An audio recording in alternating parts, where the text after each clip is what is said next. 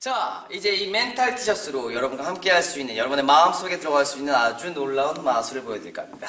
자, 이번엔 친구들에게 막 물어보는 겁니다. 예를 들면, 아, 안녕하세요.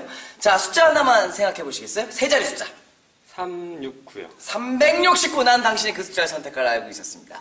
우리 마술사들은 여러분이 선택할 숫자를 모두 다 알고 있습니다. 369라. 369. 좋아요. 자, 이번엔 이 3이랑 6이랑 9를 이용해서 가장 큰 숫자를 만들어 보는 겁니다. 어떤 숫자가 나오는 거죠? 음, 900. 963이 나오는 거죠. 963이 가장 큰 숫자가 나오네요. 자, 이걸 빼볼게요. 따단 빼면은 여기가 4. 자, 그러면 여기가 5가 되니까 9. 그 다음에 8이 되니까 5. 594가 나옵니다. 그렇죠.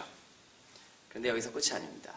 아, 좀 더 불가능을 가능하게 만들고 불가능에 불가능을 더해보는 겁니다. 아, 594를 이번엔 거꾸로 해볼게요. 495가 되는 거죠. 495.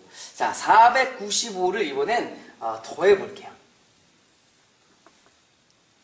그러면 숫자는 9, 음, 8, 1, 0.